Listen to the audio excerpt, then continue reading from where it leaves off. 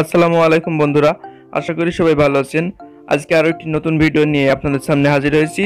ভিডিওটি হচ্ছে ট্রান্সফরমারের ফিউজ চেঞ্জ করতে হয় কীভাবে, ওটা দেখাবো।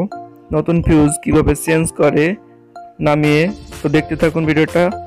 আশা করি অনেক ভালো লাগবে।